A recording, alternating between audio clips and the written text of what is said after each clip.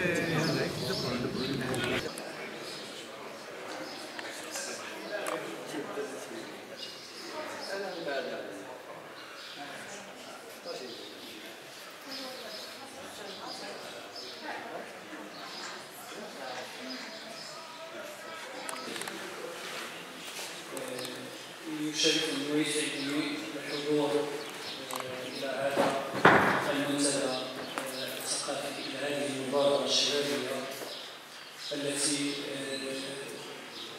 على ان هناك استدامه في المجال الثقافي وفي مجال تجديد وتجديد الأجيال في مجال الحقل الثقافي والحقل البحثي العلمي.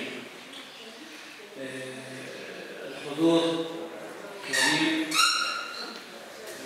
السيد رئيس مجلس البلد الصومال عنه السيد رئيس لجنة الاعداد الترابي بمجلس فاس ناس السيد رئيس اللجنه المنظمه اسمحوا لي في البداية أن أنوه بقيمة وأهمية موضوع هذا الملتقى باعتبار ما تحظى به المراكز الصاعدة من الاهتمام وما يراهن عليه ضمن استراتيجيات التأهيل الترابي والسياسة الترابية على مستوى الجهة. في سياق طبعا الجهوية المتقدمة. ما يجعلنا نشعر بالسرور وبالابتهاج هو وجود هذا الكم الهائل من الباحثين الشباب ولكن وفخر كبير بوجود أساتذتنا هنا الاستاذ الشافعي فهو نعتبره الان يعني ذاك الشعاع وذاك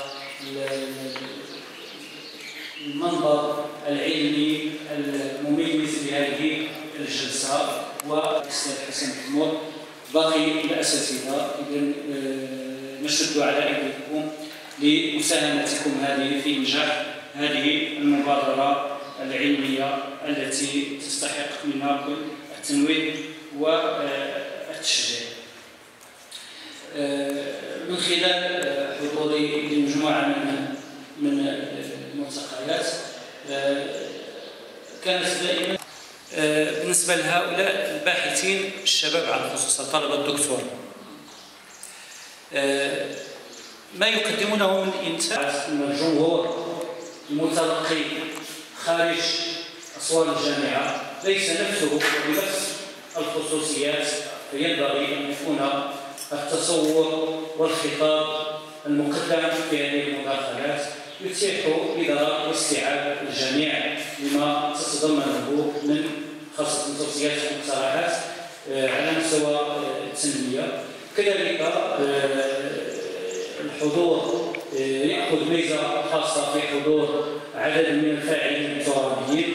هؤلاء الفاعلين الترابيين كذلك ينبغي أن يلبسوا في مداخلتكم أشياء مثيرة أفكار جديدة مبدعة في مجال التنمية الترابية انه كان من المقتضى ان السيد رئيس المجلس البلدي هو اللي يحضر هذا الافتتاح الا اننا مستجدات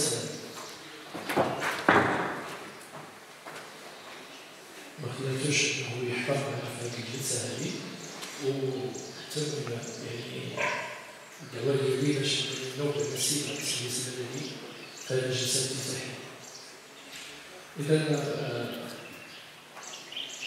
أشكر أعضاء الجمعية الذين قاموا بتنظيم هذا الملتقى الوطني الأول وهو يتناول موضوع مهم و كثير من الأهمية الشيء اللي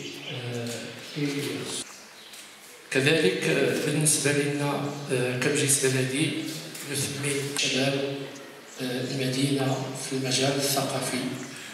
وحنا كنعرفوا بأن المدينة في واحد المرحلة كانت تعتبر من بين المدن اللي كتعج بالطاقات وبالجمعيات الثقافية اللي كتشتغل في جميع المجالات اللي عندها علاقة بالمجال الثقافي. لكن في السنين الأخيرة يعني كان واحد التراجع مهول وربما آه، من هذا المنبر نطلبوا من المؤسسات التعليمية اللي كانت كتلعب واحد الدور كبير في هذا المجال هذا واللي آه، كانوا أساتذة وكاين اللي حاضرين معنا بحال الأستاذ الشافعي اللي كان كيقول واحد يعني واحد الموجة ديال في المجال الثقافي اللي كانت في ديك المرحلة ديال الثمانينات. فإحنا بحاجة مثل هذا بشباب واعي ومتمكن ومثقف. اذا كنتمنى باش أن الملتقى ديالكم يمر في ظروف آه، جيدة وأن آه، التوصيات اللي آه، غادي تصدر من هذا الملتقى يعني تلقى الطريق ديال التنفيذ نلقاو الرضا ديالكم وشكرا.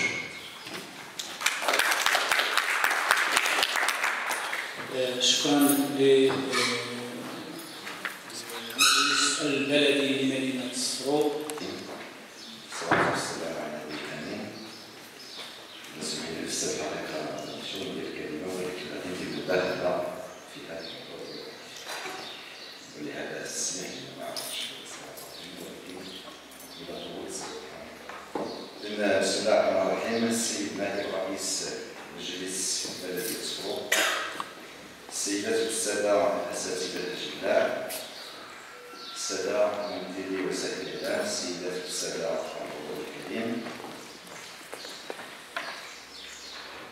آه، أشكر المنظمين والساهرين على هذا اللقاء هذا الملتقى الوطني الأول آه، أشكر منتدى إكلوس 380 شبكة 600 كأسطو والمركز الوطني لدراسة الأبحاث الشرعية 300 وهذا الملتقى الذي موضوعه المراكز الصاعدة وتسمى كذلك المراكز الحضارية الصغرى أو المراكز الحضارية والقروية الناشئة وتسمى كذلك المدن الناشئة فما فكما تعلمون أن قانون التنظيمي 111 14 المتعلق بالجهات ينص ويلزم المجالس الجهوية لإعداد ما يسمى بالتصميم الجهوي لإعداد الصورة وهذا التصميم الجهوي لإعداد الصورة هي وثيقة مرجعية استراتيجية ورسمية كذلك لأن يصرف عليها نظام الجهة فخبرة في ميدان التنمية المجالية على المدى المتوسط والبعيد أي تقريبا ما ينعكس 25 سنة. ويرتكز تهيئة التصميم الجهوي لإعداد التراث على ثلاثة مبادئ. النجاح الناس في دورة استثنائية يوم الخميس 28 جانفي 2019 2019 يعني السنة المصرية. وسأتطرق إلى ما جاء في هذا التصميم الجهوي لإعلام التراب والذي كانت أعدته أو أعده مكتب الدراسات الموكلة من طرف مجلس الجهة فلقد اعتبر هذا التصميم لاندماج المراكز الحضارية الصغرى في مجالها الجهوي من أهم أهداف سياسة إعادة الصغرى فقد ازدادت جاذبية المراكز الصغرى والمتوسطة مما أدى إلى ارتفاع ساكنة هذه الجهة وعددها بجهة حسب إحصاء 2014 مما يفرض على العالم الجميع والمعلومات والأموال وبما أن التقسيم الحالي تقسيم يعني التقطيع الحالي مدير الملتقى الأول حول المراكز الصاعدة المكانة المجالية ورهانة الاندماج في الجهوية المتقدمة يندرج موضوع طبعا هذا الملتقى في سياقات دولية ووطنية. تتسم اولا بمواجهة هذه المراكز للتحولات التي فرضها واقع العولمة وخاصة على المستوى الاقتصادي. والاجتماعي والثقافي أيضا وكذلك على المستوى الوطني خاصة ما يتعلق بالدستور الجديد والجهوية آه، المتقدمة. وبالتالي فإن المراكز الجهوية في ظل آه، هذه هذه السياقات مدعوة بأن آه، يعني تواجه كل هذه التحولات. أولا بأن تستغل الصلاحيات وعدد الفاعلين الذين هم في تزايد مستمر من أجل ترقية نفسها ومن أجل أيضا القيام بالأدوار المنوطة إليه سواء فيما يتعلق بتطوير آه، نفسها أو آه، في تأطير آه، المجال القروي المحيط بها. ولكن أيضا لتحقيق عدالة ترابية عن طريق التوزيع العادل للبنيات التحتية ولتنفيذ أيضا سياسة القرب. سنحاول من خلال هذا الملتقى طبعا أن نناقش سبعة محاور أساسية ولكن سنهيكلها في جلستين. جلسة صباحية ستركز على آه، آه، الإطار المفاهيمي والنظريات التي قربت موضوع المراكز الصاعدة والجلسة المسائية سوف تركز أساسا على الحكامة الترابية وعلى التدبير الجماعي لهذه المركز لهذه المراكز طبعا في آه، ظل الجهوية المتقدمة. وشكرا. الأزامي حسني الكاتب العام ديال المركز الوطني للدراسات والأبحاث الجغرافية والتنمية. آه، في الحقيقة كيأتي انعقاد هذا الملتقى الوطني الأول بعنوان المراكز الصاعدة المكانه المجالية ورهانات الاندماج في ظل الجهويه المتقدمة في ظل واحد النقاش اللي هو حقيقة ملح بين مختلف الفاعلين سواء كانوا أكاديميين أو آه، باحثين أو كذلك مدبري الشأن المحلي. هذا النقاش آه، مفتوح حول الأهداف والمكانة اللي ممكن تعطيها لنا بطبيعة الحال هذه المجالات هذه في ظل تنزيل المغرب للجهوية المتقدمة. كذلك في ظل بعض الم... وجودها في ظل بعض المجالات اللي هي مهمه حاليا. اذا كيف يمكن لهذه المراكز الصاعدة أن تشكل أقطاب للتنمية عن طريق مواردها المحلية مواردها الذاتية؟ كذلك كيف يمكن أن تندمج مع هذه المجالات اللي ممكن نطلقوا عليها أنها مجالات آه، مهمه اذا هذه التساؤلات هذه كلها غادي نحاولوا إن شاء الله نجاوبوا عليها خلال هذا الملتقى الوطني الأول بحضور آه، وازن لفعاليات آه، سواء المجتمع المدني أو خبراء أو أكاديميين أو باحثين في هذا الموضوع هذا. وكنتمنى إن شاء الله تكون هذه بادرة اللي تاليها بطبيعه الحال لقاءات أكثر لتوسيع النقاش كذلك ولتعميقه. شكرا. مريني رئيس شبكة تنمية القراءة بصفرو إحدى الجهات المنظمة للملتقى الوطني الأول حول المراكز السعيدة. أه، بالنسبة لنا هذا النشاط هذا انخرطنا فيه لأن لعاملين أساسيين اللي هو العامل الأول هو ضرورة التشبيك بين الجمعيات التي تتقاطع في اهتماماتها. في الجانب الثاني أن هذا الموضوع ديال المراكز السعيدة قد يشكل أه، قافلة أو قطرة للتنمية خاصة أنه مع الاختلالات اللي كيعرفها تدبير المجال سواء في المجال الحضري أو في المجال القروي على اعتبار أنه بعض الخطرات أنه كيبان لنا مجموعة ديال التجمعات السكنية اللي هي غير مهيكلة واللي كتعطي واحد المجموعة ديال الإعاقات في التنمية المجالية ديال الجماعات الترابية اللي كتنتمي لها وهذا اللي كيجعل أن هذه الفرصة هذه بالنسبة لنا أن حاطينها من أجل التدارس ديال هذه القضايا هذه من أجل أنه كذلك أن توفير مادة معرفية للمدبرين الجماعيين وكذلك الفاعلين الجمعويين كل من موقعه اللي باش أنه هذا الشيء هذا نقدروا أننا نصيبوا بعض الحلول أو مداخل لتنمية مستدامة.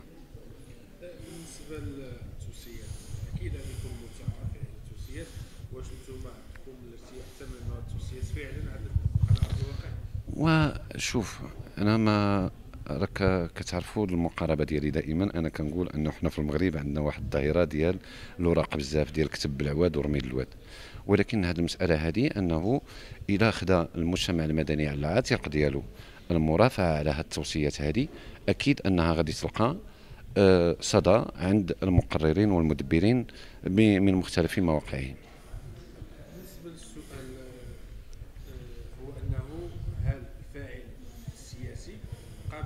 يشاركوا في هذا في هذا هذه لا سيما انه كتهموا بشكل خاص وحنا هاد هاد المسألة هذه يعني أنه كتبقى في ديك التقديرات اللي هي أنها ماشي موضوعية واللي هي أن تفوح الجانب أن مخالفة للمقتضيات ديال الوثائق الرسمية ديال الدولة واللي على رأسها آه، الظهير آه، الدستور اللي كيتكلم على المقاربة التشاركية وكذلك القوانين المتعلقة بالجماعات الترابية 113 114 آه، 14 اللي أنها كتعطي للمجتمع المدني واحد الأولوية أو واحد المكانة ديال الشريك.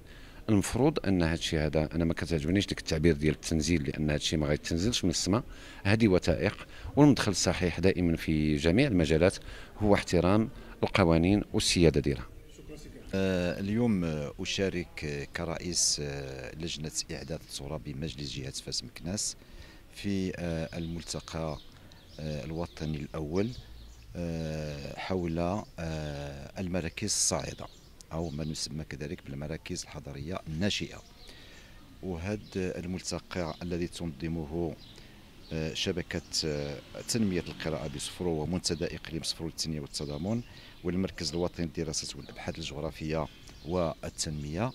سيتطرق إلى هذا الموضوع اللي هو موضوع في حقيقه الساعة لأن لا يمكن لمدن كبرى كمدينة فاس مكناس تازا كذلك أو حتى المدن المتوسطة أن تتم آه، أن تنمو وأن تحقق تنميتها ما لم يؤخذ بعين الاعتبار هذه المراكز آه، الصاعده فهذه المراكز الصاعدة لها مؤهلات فهي شبه حضارية وشبه قروية إذا يجب الاهتمام بها وهذا هو موضوع ديال هذا اليوم هذا وسنناقشه إن شاء الله بكل جدية. شكرا لك. تبارك الله.